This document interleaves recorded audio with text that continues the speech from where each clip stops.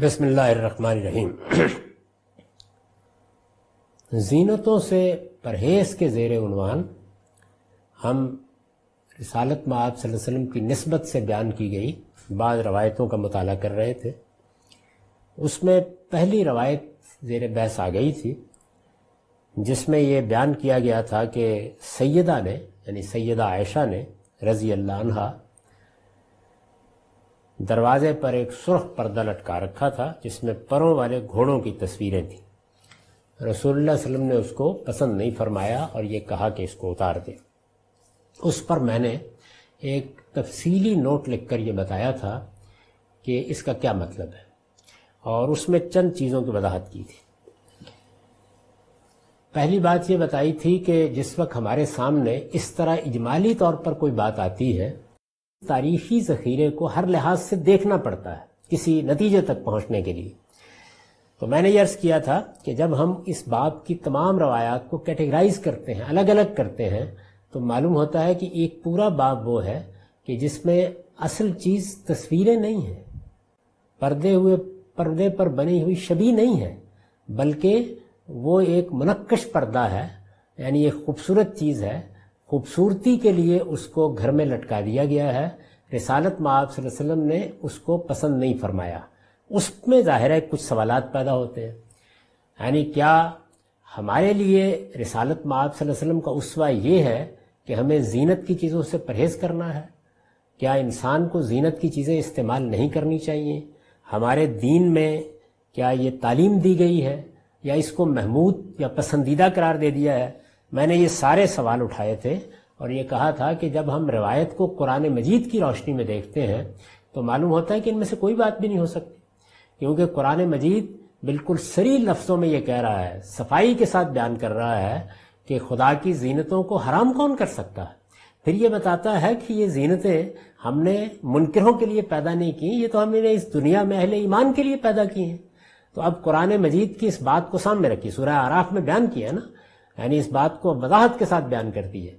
चूँकि कुरान मजीद के मुकाबिल में जो दीन खड़ा है, वो असल में सूफियाना मज़हब है। और सूफियाना मज़हब के मुकदमात बिल्कुल अलग है। वहाँ तो ये है कि दुनिया माया का जाल है। इससे आपने हर हाल में अपने आप को अलग रखना है। यहाँ अगर कुछ बरतना है तो बस ज़रूरत की चीज़ों को बरतना है। इसमें जीनतों का, जमालियाती हिस्स की तस्कीन का कोई सवाल नहीं है। कुरान मजीद ने इसकी पूरी शिद्दत के साथ नफी कर दी। और ये कहा कि कुल मन हर्रम जीनत अल्लाह अखराज इबाद ही अल्लाह ने अपने बंदों के लिए जो जीनतें पैदा की हैं, किसने उनको हराम ठहराया?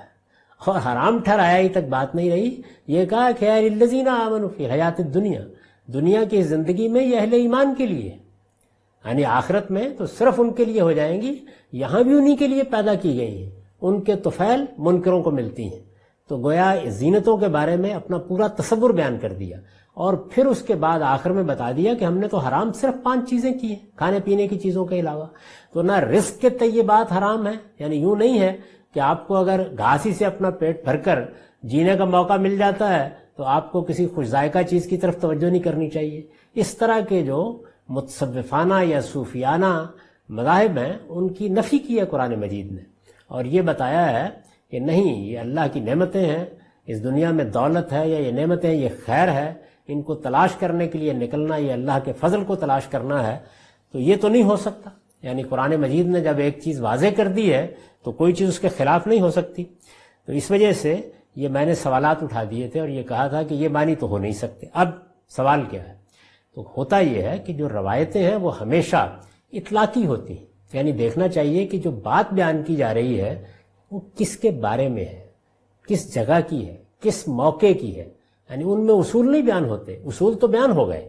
तो रिसालत माब वसल्लम ने ये जो रवैया इख्तियार किया, यानी जीनतों से परहेज का, फ़कीराना ज़िंदगी का, मैंने ये बताया है कि इसका कौन सा मौका है। तो रसूलुल्लाह वसल्लम की ज़िंदगी को अगर आप देखें तो आपकी ज़िंदगी मक्के में एक मुतमबिल ताजर की ज़िंदगी थी। वहाँ इस तरह की कोई चीज़ आपको नज़र नहीं आएगी। आप अच्छी ज़िंदगी बसर करते थे।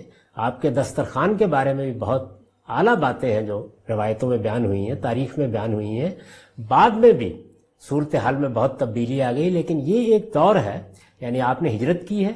हिजरत करने के बाद अब आप पैगम्बराना हैसियत से भी आगे बढ़ के आप उस पूरी की पूरी कौम के हुक्मरान भी बन गए। अब आप एक ज़िम्मेदारी अदा कर रहे हैं। आपकी वजह से लोग आए हैं। उनके लिए आपने मुआखात कायम की।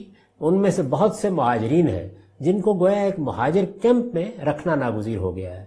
वो महाजर कैंप वही मस्जिद नबी में है। पास ही आप रहते हैं। वहीं से सारा नज्म चलाया जा रहा है। तो आपने फैसला किया कि अब आपके यहाँ, आपके घर में जीनतों से परहेज की ज़िंदगी बसर की जाएगी। यानी गोया एक उसवा कायम किया। तो मैंने ये बताया था कि रिसालत में आप वसल्लम ने ये जो ज़िंदगी इख्तियार की, चुनाचे सारे अरसे में आपने अपने और अपने घर वालों के लिए जीनतों से परहेज की, यही ज़िंदगी इख्तियार किए रखी। ये जिसकी तस्वीर ऊपर आई है कि एक पर्दा भी गवारा नहीं है। और इस तरह मुसलमान हुक्मरानों के लिए, यानी जो मुसलमानों के हुक्मरान हों, उनके लिए ये उसवा क़यामत तक के लिए कायम कर दिया कि रफाइयत के ज़माने में, यानी अगर कौम में खुशहाली है, वो ये इमरजेंसी नहीं है, सूरत हाल अच्छी है तो दाऊद सलेमान की तरह बेशक सरहम मर्रदुम मिन कवारीर तामीर करे। यानी जैसे उन्होंने शीशे के महल बनाए, जिनमें मलखाए बिल्किस भी देहाती होकर रह गई, बेशक तामीर करे। कोई माने नहीं है उसमें। और उनमें बादशाहों की ज़िंदगी जिए। मगर जब उन कौमों के जिम्मेदार बना दिए जाएँ, जिनके गुरबा अपने बच्चों की तालीम, इलाज मुआवजे और दो वक्त की रोटी के लिए तरसते हों तो उनकी ज़िंदगी इसी तरह फकीराना होनी चाहिए। ये उसवा कायम किया। खिलाफत और हुकूमत के जिम्मेदारों के लिए यही मिनहाज नबूत है। इसी को रिसालत में आप ने मिनहाज नबूत यानी खुदा के पैगंबर अगर इस तरह के हालात में ज़िम्मेदारी संभालें तो हुकूमत करने का उनका मिनहाज, उनका तरीका क्या होगा? ये मिनहाज नबूत अल्लाह के आखिरी पैगंबर ने कायम किया। और खुलफाए राशदीन की हुकूमत को इसी बिना पर खिलाफत अला मिनहाज नबुआ कहा जाता है। यानी उन्होंने इसी की पैरवी की। वो इसी तशवीश पे रहे। आपको मालूम है कि सैयद उमर के ज़माने में कहत पड़ गया और बहुत से हालात पेश हुए तो उन्होंने अपने आप को इसी मकाम पर रखा। ये कहीं सैयद उस्मान के ज़माने में जाकर हालात में तब्दीली आनी शुरू हुई है। तो एक तो ये बात वाज तौर पर समझ लेनी चाहिए कि इसमें जो उसवा बयान हुआ है, वो किन के लिए है? और रिसालत में आप वसल्लम ने ये ज़िंदगी क्यों इख्तियार की? रवायतों को कुरान मजीद की रोशनी में जब रख कर नहीं देखा गया तो बाज़ मुतलक तस्वुरात उनसे बरामद कर लिए गए। जहाँ के जहाँ तक कि ये चीज़ें जो हैं, ये एक पैरल दीन की सूरत इख्तियार कर गई। यानी कुरान मजीद और तालीम दे रहा है, और मकासद बयान कर रहा है कुरान मजीद से ये बात बिल्कुल वाज हो जाती है कि आप इस दुनिया में आए हैं जद्दोजहद कीजिए, दौलत कमाइए, खैर समेटिए, ये अल्लाह की नेमतें हैं, इनको इस्तेमाल कीजिए। इंसान को सिर्फ़ ज़रूरतों तक महदूद नहीं रहना होता, उसको अल्लाह ने हिस्से जमालियात दी है। वो जीनतें भी इख्तियार करेगा, चीज़ों को बनाएगा भी, संवारेगा भी, जीनतों के मुख्तलिफ़ पहलू हैं। वो आवाज़ की भी जीनत है, वो घरों की भी जीनत है, वो शहरों की भी जीनत है, इमारतें भी बनेंगी अजीम शान इमारतें वजूद में आएँगी, सब होगा। लेकिन ये गरीबों की सूरत हाल की खराबी की कीमत पर नहीं होगा। और जो लोग जिम्मेदार बनाए गए हैं, बहरहाल उनको ये देखना होगा कि इस वक्त की सूरत हाल क्या है। अगर एमरजेंसी की सूरत हाल है, जैसी रिसालत में आप वसल्लम को दरपेश थी महाजरीन की वजह से तो फिर हुक्मरानों का, जिम्मेदार लोगों का रवैया क्या होना चाहिए और उन्हें किस हद तक फकीराना ज़िंदगी इख्तियार कर लेनी चाहिए, इसको बयान की इसके बाद दूसरी रवायत है आयशत कालत दखल रसूल वसल्लम वफिल बैत सितर मनसूब तसावीर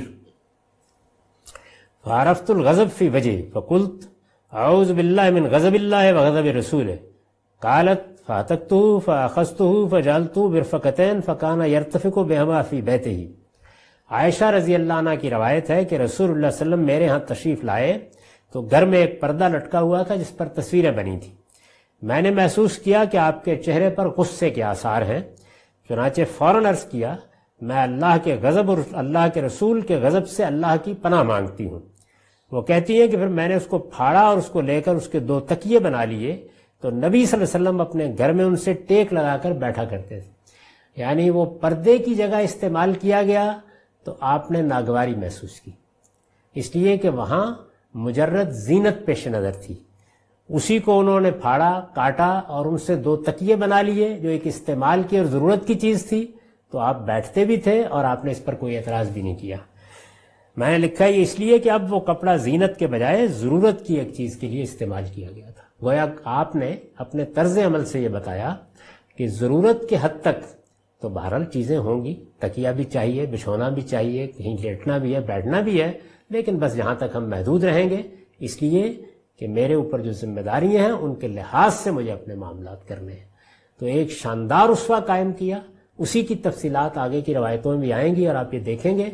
लेकिन उन बुनियादी मुकदमात को जहन में रखिए कि रवायत हमेशा इतलाकी होगी। उसको एक सूरत हाल के अंदर रखकर देखा जाएगा और कुरान मजीद जब एक फ्रेम मुतन कर देगा तो उससे तजावुज नहीं होगा। इससे ये हकीकत मजीद वाज होती है कि कुरान इसका मोहताज नहीं है कि उसे किसी दूसरी चीज़ की रोशनी में समझा जाए।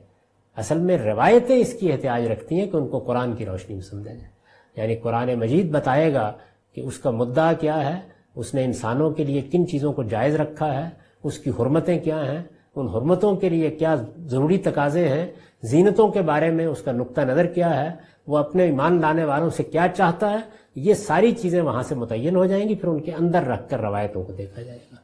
वह आखिर दामान अलहमदिल्ला